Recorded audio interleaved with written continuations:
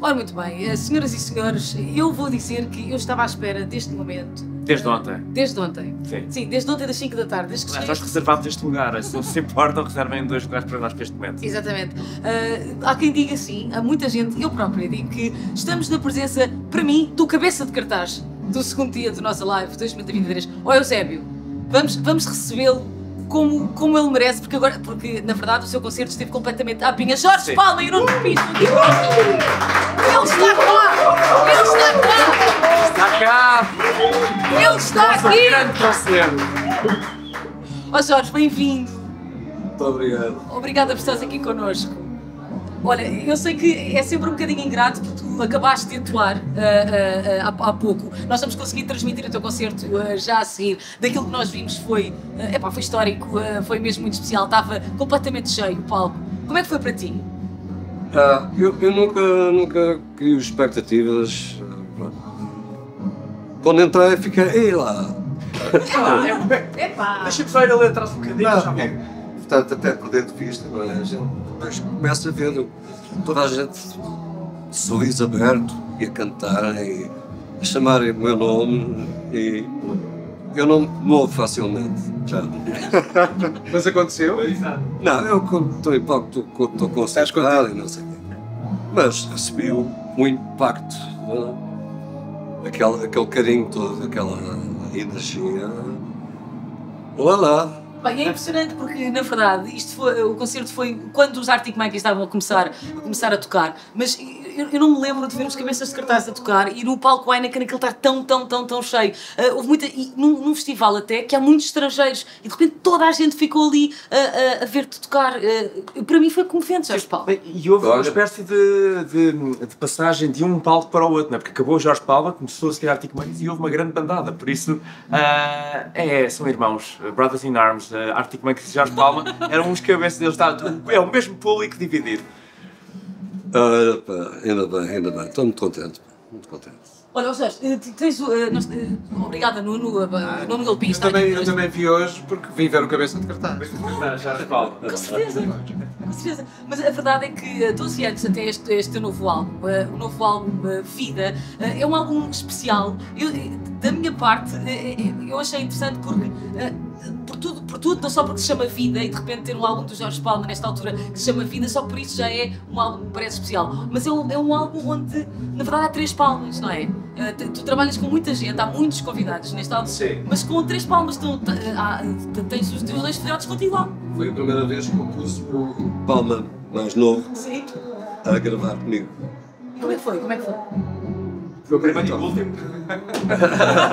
Isto é um novo Palmas Gang. Não, não, porque o o Francisco, portanto, é, é, ele toca bem guitarra. Está muito. começar- Estou a começar agora a chamá-lo para, para os palcos.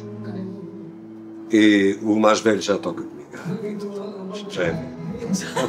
Sim, já, já faz parte da da família. Mas como é que foi este regresso aos álbuns e o que, que caminho é que quiseste traçar com o álbum Vida? Não, eu- não houve um, nenhum plano, quer dizer, aí há seis anos, em 2016, por aí, escrevi uma canção que disse, esta é para gravar. E depois fui sem pressa nenhuma, porque felizmente tenho tido trabalho concertos. E depois, olha, esta está está-me a sair bem também. E fui fui juntando as músicas até ter, até ter 10. Isto chega para um álbum. E quando, se- e quando se edita um disco chamado Vida e uma canção chamada Vida, Eu, eu, eu andei tempos a pensar o que é que eu vou chamar isto. pois é. Como é, que- como é que? Como é que é que é uma, é uma canção em que olhas Há uma canção o tempo que passou. Eu uso, eh, uso papel e caneta, não é? mas o dictafone do telemóvel dá-me jeito. E tenho montanhas de coisas, ideias, às vezes só uma frase ou uma melodia. E lembrei-me, aliás, lembraram-me que eu tinha, tinha escrito há 3 ou 4 anos uma canção, esqueci completamente dela, que se chama Vida, precisamente. E depois, ok, esta canção, acabei de escrevê-la, não é? um jeito à letra e à, e à música. Depois, vida, vida é um, título porreiro, não vai chamar Vida. Depois fiz a minha versão da canção que escrevi para o Carlos do Carmo, que é a canção de vida. É um disco cheio de vida. Oh, oh Paulo, eu disse cheio de vida e tua, este concerto que vocês vão poder ver já daqui a pouco, nós vamos transmitir o concerto todo aqui para, para podermos oferecer. E, by the way, obrigada, já agora obrigada por nos permitires oferecer este concerto a tanta gente que queria ter visto aqui. Tu estás. Tu estás... Muito obrigado a vocês por vosso trabalho, que é fundamental. Não, não, era o que faltava, era o que faltava. Nós não estamos cá porque existem pessoas como tu, Paula. por isso. Mas, mas tu estás em grande forma. Como é que tu te sentes? Porque de facto quem te viu, quem te viu hoje sei, aqui, tu estás mesmo em grande forma. Olha, vou-me Como é aguentar. que tu te sentes? Sinto-me bem. Neste momento, depois deste concerto, sinto-me relaxado. E agora vou para casa ouvir Debussy. Vais ouvir a emissão, não sei se o teu concerto vais ser vou como é que. ouvir um bocadinho de Debussy ou, ou Ravel, assim. É para isso é genial. Depois... peça pequena, assim, muito, muito. Para limpar a cabeça. É, mas olha, se viajássemos no tempo aí uns 52 anos, estavas em Vilar de Mouros com o sindicato, no princípio de toda esta história que hoje é uma Foi- rede de festivais. Foi, foi é? 71, foi. Tudo começa ali, Vilar de Mouros. Isto mudou tudo completamente. Como é, que, como é que era o ambiente? Era completamente diferente do que temos aqui hoje em dia. Ah, não, não se compara. Mas Já aquilo foi, foi inesperadamente para, para muitos, ou para toda a gente mesmo, foi um festival fantástico. ah, naquela aldeia, lá de nós. Ah, dois anos depois do Woodstock. E aquilo, pronto, os meios que hoje, que hoje temos, não, não se comparam com os meios que havia na altura. Tudo mudou. Mas a verdade é que foram não sei quantos dias, eu e a minha banda, o sindicato, tínhamos to- tocado, íamos fazer dois concertos. Passámos os dias todos a tocar em palcos diferentes, o quê, e jam sessions. E foi fantástico. Esgotámos o leite lá da população, o pão, o, o pessoal a tomar banho nu, tudo, no rio, e o pessoal da terra na boa. Faz um vosso espetáculo. Ah, mas havia os gajos da PID. Epá! Estavam, estavam a fazer a festa ou só a olhar? Não, eu. Não há muito tempo que eu vi escrito o, relatório de um desses gajos. Eh, a dizer, pessoas eh, jovens com ar de transviado, não sei o quê, a dar cabo das colheitas todas. Bem, O relatório. O relatório. o relatório daqueles filhos também. Enfim, mas de resto foi, foi boa. Há, 70, há, há- há 50 52. Oh, não, não, Olha, não, não sei, sinto-me sinto bem fisicamente. Oh, oh, mas- E mentalmente. De certeza, como tantos anos, nós ainda hoje na emissão falávamos sobre objetos que voam do público para o palco, ah, porque ah, estávamos a falar sobre bandas que já receberam ah, objetos sexuais para cima do palco, as cinzas da mãe de um fã que foram atiradas Yeah. também para, para o palco, desculpa? as cinzas da mãe de um fã que atirou para um Queijo concerto. ri, para mim, Queijo ri. Já tiraram o é mais.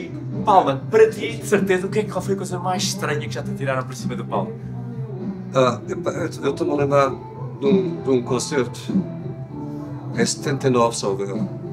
que eu formei uma banda de bluegrass, portanto, country acústico. E que não sei quem teve a feliz ideia de nos pôr a tocar no pavilhão do, do, do Restelo, do, desses. Antes de uma banda, um trio metal, um trio power. É, tocámos 3 quartos de hora, sempre a levar. O percussionista apanhava as maçãs e. Por esta, já tiraram-se de O clássico, clássico. ah, sim, é, isso é o clássico. Não sei, nunca, nunca. Eu acho que foi nesse concerto que mandaram tipo um balão cheio de água. Ah, que me rebentou em cima da, da guitarra. Há uma- eu vi uma fotografia em que se vê eu com ar espantado. Claro, Ah, claro. Grande foto, grande foto que ficou certeza. Ficou, não sei de quem é que traz essa foto, mas gostava de ter. Fica aqui o apelo. Eh, Se o, o dono Se da foto, o autor da foto ou alguém que tenha esta foto, que sendo ao Jorge Paulo, por favor. Foi no pavilhão de Bolonenses em 79. Está feito o repto, por amor de Deus, mandem-nos esta fotografia, sabem do que é que estamos a falar. Ó Jorge, não tenho palavras para agradecer eh, o suficiente para teres vindo até aqui, ainda por cima a seguir ao concerto. Muito obrigada. Eu é que agradeço. E numa nota pessoal, tu és um gênio. Jorge Palma, e que prazer, que privilégio poder ouvir-te aqui num festival deste género, que bruto concerto tu deste e nós vamos poder oferecê-lo a cada um de vocês aí em casa. Obrigada, Jorge, obrigada e até já. Palmas merecidas.